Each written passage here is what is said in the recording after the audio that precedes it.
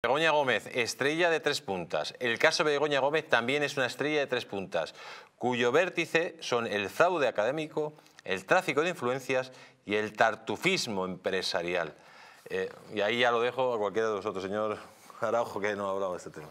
Bueno, en este caso la verdad es que bueno estoy comentando, eh, recibiendo muchos comentarios con respecto incluso eh, del tema electoral, entonces por eso está un poquito fuera del tema, ¿no?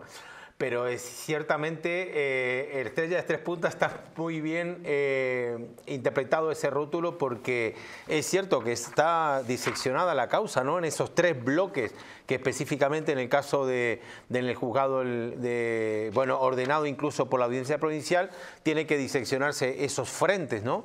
Y, y, en ese aspecto realmente lo decíamos hace bastante tiempo, lo tiene muy complicado, ¿eh? lo tiene complicado Begoña para defenderse en este contexto porque son cosas que están bien apoyadas, están al principio han querido decir que era de meras noticias y demás, pero conforme se ha aportado nueva documentación y este último auto que el juez Peinado ha dicho que le han llegado nueva documentación, que todavía no sabemos el origen de esa nueva documentación.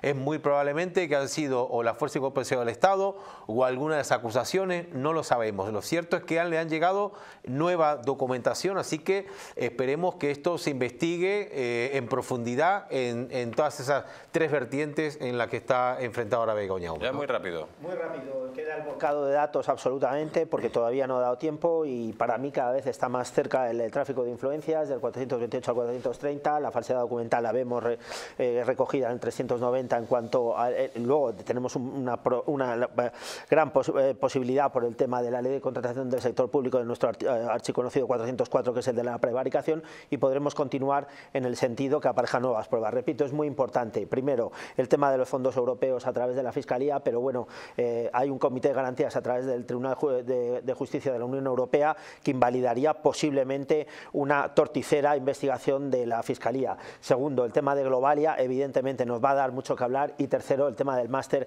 es más que evidente que la ley de contratación eh, del sector público ha sido vulnerada.